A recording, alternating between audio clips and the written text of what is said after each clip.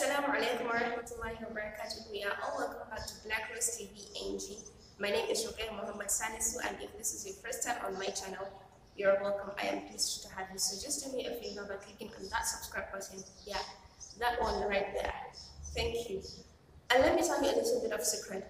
There's a notification bell beside it. If you click on it, you will be the first person to get notified whenever I upload a new video.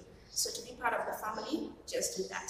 And also, if you're a returning subscriber, thank you so much for being here and I appreciate the love and support. And don't forget to give this video a thumbs up, comment, and share it. Thank you.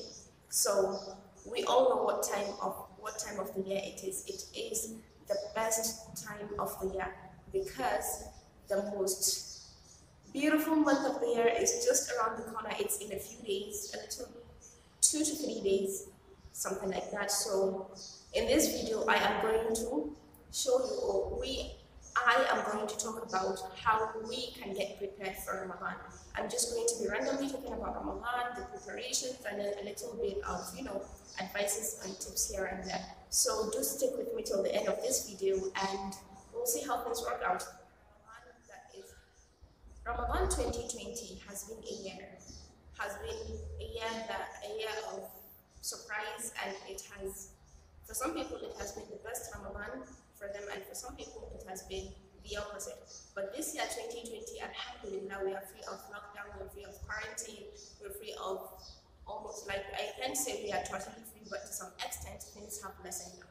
So, this Ramadan 2020, Alhamdulillah, we get to host iftar with people, you get to, you know, do a lot of things that we couldn't do previous. So I'm just going to take a moment and I want all of us to take this moment to just thank Allah subhanahu wa ta'ala for granting us the ability to reach this year because if we look at the life, like if we look at the span between the previous year and this year, a lot of people are will be absent on our iftar table. A lot of people will be absent this Ramadan. I don't know if I'll be able to reach Ramadan or we don't even know if we'll be able to reach Ramadan, go through it completely, and even reach the next ones to come. So we just, I just want you and I to take a moment to thank Allah subhanahu wa ta'ala for blessing us with the life, for blessing us to reach this time of the year. We all know the blessings, we all know the benefits, we all know the bonuses we get in Ramadan. So this is a really big blessing Allah subhanahu wa ta'ala has blessed us with. And for that, I say Alhamdulillah. So Ramadan, as we might have, uh, as some of us might have the idea wrongly, especially non-Muslims, it is not the hungry month of Ramadan, y'all. It is the most blessed, the month of mercy, the month of... I can't even list them because the list is endless. But if you want to know more about Ramadan and what it, what it entails, I have my own Ramadan series for the year 2020. I'll put the link, or maybe it might just come up here. I think at the right top corner of your screen. Do don't hesitate to click on it to watch the videos, but I'll still upload the playlist at the end of this video so that you get to know what Ramadan is. But for the sake of this video and for the sake to just rush things up, I'm going to explain a little bit of what Ramadan is. Ramadan is the month that Muslims fast from dawn till dusk. Did I get it right? Yeah, from Fajr till Maghrib. So within that period of time, that is where Muslims abstain from eating, drinking, uh, sexual intercourse, and a lot of things that we have been advised to, you know, just uh, hold on for a while. And Ramadan is not a month that we press pause for all our illegal activities that we carry out Ramadan. It is a month where it is our starting point of turning a new leaf in our lives. Because when Ramadan comes, mostly what people do is, oh, the idea that we, most of us have is, okay, this is a month where I have to give in my full energy. I have to put in all that I can. I have to put in everything that I have to be able to make sure that I get closer to Allah subhanahu wa ta'ala. Yes, it is. But what we tend to forget is after Ramadan, Allah subhanahu wa ta'ala is present before Ramadan, is present in Ramadan, and will be present after Ramadan. So it is not that we should press pause on whatever it is that we do that we feel is taking us away from Allah. And when Ramadan comes, we put in our much effort, we put in all we can to get closer to Allah. And after Ramadan, we go back to our old ways. No, Ramadan is a month where we are, where it gives you the ability to turn a new leaf. It gives you the ability to to mend your ways, to change those old, those bad habits that we have, those activities that we do outside the Ramadan, maybe like in the rest of the year, we've been really like we've been committing a lot of sins, we've been doing things that have been taking us away from Allah. So when Ramadan comes, it is time for us to stop everything. And like, I mean like literally stop. I know there are things that you cannot stop, but little by little, it helps you in stopping things. So it is like a rehabilitation for Muslims. It cleanses your soul, it brings you a lot of peace and tranquility. It does a lot of things.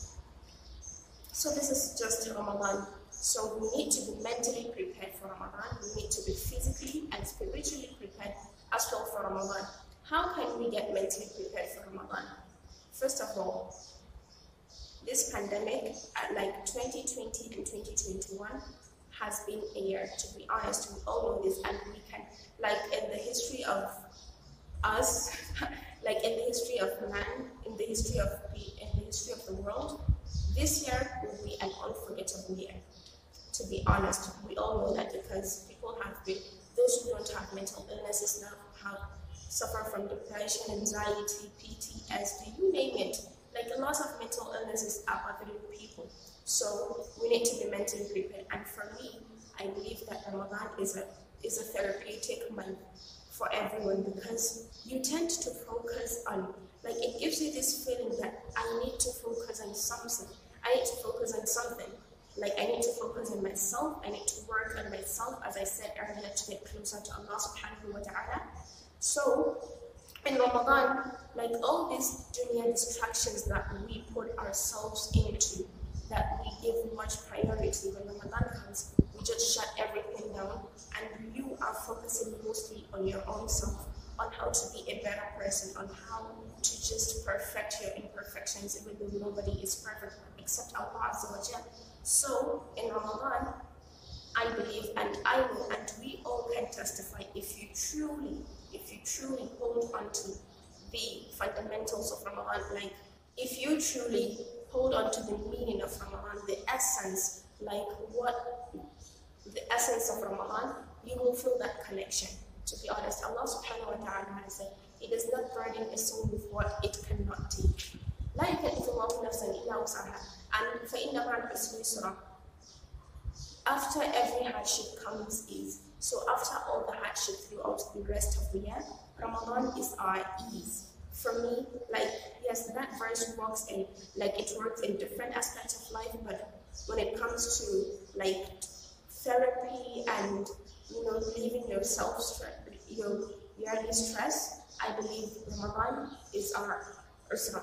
Uh, Ramadan is our yusra because Allah subhanahu wa ta'ala has blessed us. Like, our words are multiplied, every little act of kindness, every little good deed is multiplied and what is like, it's gigantic.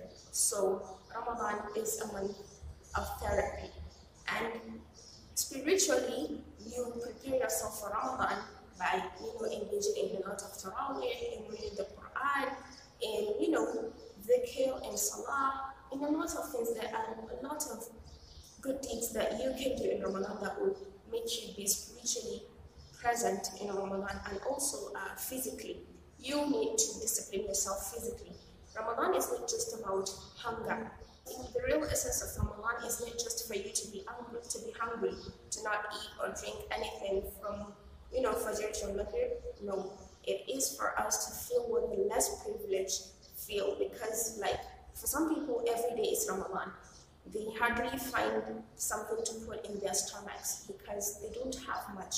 They are not, some are even homeless, they don't have a home, they don't have a roof over their heads, some do not have clothes, some, you know, some don't have a pot to put, some do not have food to put in their stomachs. So Ramadan, when you're fasting and you feel that hunger burning in your stomach, you, you start thinking, subhanAllah, there are a lot of that actually go through this every day. So why not help them? And the help does not stop in Ramadan, it continues till after Ramadan. I know it is like, it's, it's not everybody that is blessed with, that is privileged to have enough to give out to, to feed people. But in Ramadan, people, this is one thing that I love about Ramadan. It brings about brotherhood, togetherness. You know, this, like everybody wants to just give out. Everyone wants to get deeds, no matter how you want to be rewarded. So Ramadan brings about brotherhood, togetherness. So Ramadan is a magical time of the year. To be honest, it's like talking about Ramadan is just something like I can't describe it. We all know the feeling, but you cannot describe it, to be honest. So Ramadan is just the magical time of the year where everything is good, everything looks beautiful, everything is, you know, magical, everything is just, everything is just alhamdulillah, that is all we can say. So when you feel that hunger that uh, people feel, you tend to feel the less privileged, you do a lot of acts of reward that will help you help the less privileged. On this note, I want to call on people. Past year have taken a lot from people. We all know, like I don't need to I don't need to, you know, keep hitting them. Now, I don't need to keep hitting this part, but it is just a reminder. For some of us, things are becoming, like things are coming back to the normal, but for some, things have deteriorated in their own lives because some people, a lot of people have lost a lot in terms of like wealth, in health. You know, in a lot of ways, we have lost one thing or the other, and First, um, the pandemic has affected a lot of people in different ways. So if you, and there are a lot of flyers I have seen, especially on social media, you know, moving around, going viral to help the needy, to donate. It's a very good thing. I do love that. Like for one to set up an organization to help the less privileged and to even seek donations from people in order for them to help. Like you want everyone to share the reward with you. You cannot do it alone. You need each other to help one another. But as you are doing that, if you have the opportunity, if you have the capacity, please do it. Please donate. But before you do that, look closely within your own proximity. Like how many people that are close to you do manage to put a foot on the table three times a day? Look at that. Look at those people. Help them first. Look, you don't need to look far. You, need, you just need to open your eyes and see. It could be your neighbor. It could be your own siblings. It could be your own parents. You don't know because parents have this, like, especially if their kids are successful. Parents are happy for their kids' success, so they feel some parents cannot ask their children. So your parents, friends, you know, people around you, your own relatives, that widow in your area with three children, who cannot ask for a dime from you, please look closely before you go about donating to people outside. First, help your people that are close to you. Help those that are within your own proximity. If you help them first, I believe like the reward will definitely, Allah subhanahu wa ta'ala will reward you abundantly. There's a saying in Hausa like, It's like the house is not full, but you've taken the food outside. First, feed the house and then take it out. It's like, I can't explain it to be honest. like, I can't give a full explanation in English because some sayings are just like, they just only make sense in that language. But this saying literally does make a lot of sense in this context. So please, if you want to go about helping people, it is a good thing. I'm not stopping you from that, but please first help those who are really close to you before you go about giving those outside. And also Ramadan is a time where in some part of the world, it is a time like for countries like especially Arab countries, Sudan is now trying to take that. Uh, they're trying to close schools in Ramadan like to go on breaks, on Ramadan break. Because y'all, it's really hot. Like the situation here, it's really hot. Sudan happens to be like one of the hottest places I've ever been to. Even though I live in northern Nigeria, it's quite hot, but Sudan is hotter. So, you know, moving around, going to school, that stress and tension. Alhamdulillah. When we heard that our school has extended our holidays after Ramadan because we've been quite in, like our holiday has been really quite long, and we're so eager to go back to school, you know, finish and go back home and all that. So a lot of people were like, it's not fair, we need to get back to school, we need to, even if it's online classes, we'll take them. But to be honest, like, Allah will not give you what you cannot handle. Maybe Allah has so that we cannot handle that stress. Like the the stress will be really much for us because when you go to school, some people come back around like very close to Maghrib, even though it's Ramadan, but some people they want to.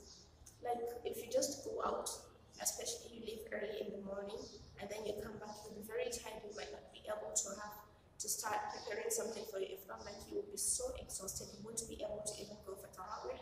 Maybe that is why for me, to be honest, I feel like I just want to, maybe it's because I want to be optimistic, because it's been really stressful and, you know, mentally draining to, you know, just be there without going to school. You're just sitting doing nothing and you know that, like, TikTok. Time is really ticking. I just want to be optimistic and I want to look at things this way. So I just felt like maybe Allah subhanahu wa ta'ala is preventing us from not fully being present in Ramadan like maybe we can. You know, and especially if we're about to finish and if you're like if you're in school, you want to just study and then like your attention is kind of divided. You don't know what to prioritize more. Ramadan also like will be giving this less concentration and be concentration more on this.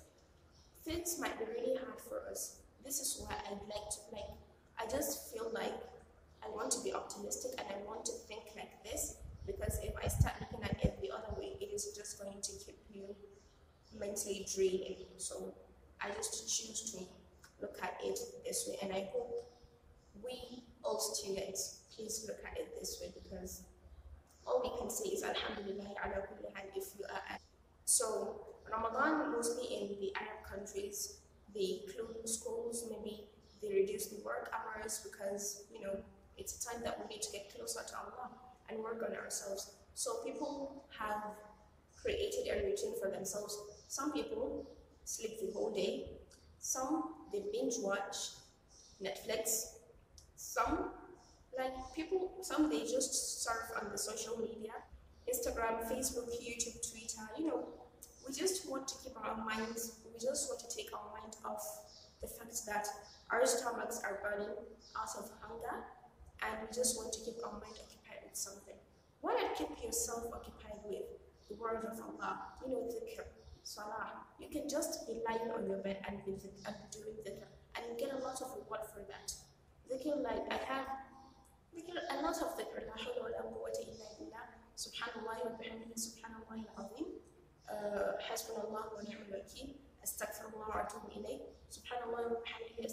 lot of.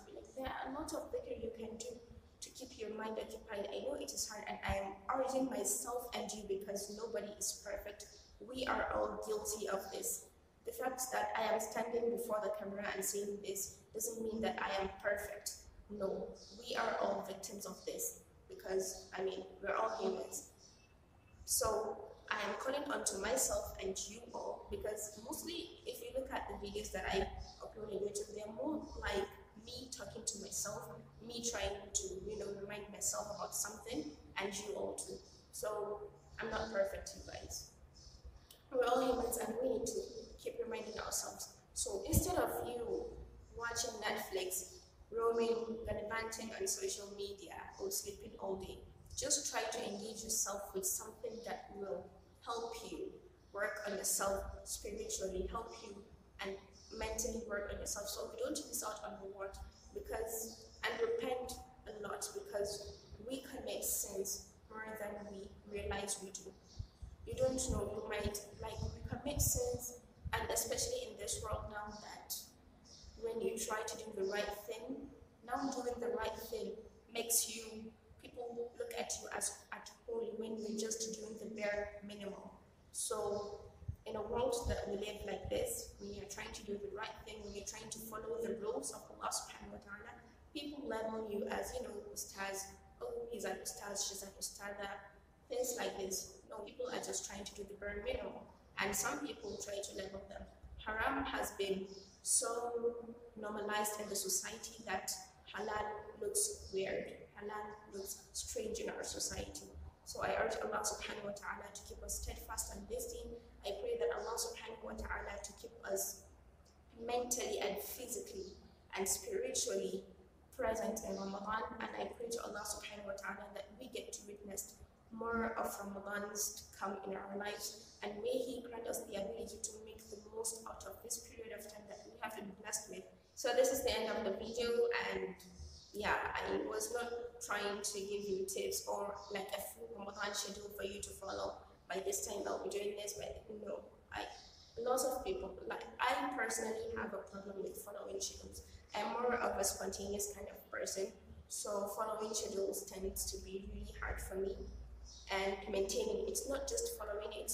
I can sit down and like you know make all the necessary planning and all, but maintaining it oh my god, it's a disaster for me. I can't do that. So I'm more of a spontaneous person. I achieve more in a day when I'm spontaneous than when I have a schedule. And with this, I say Assalamu alaikum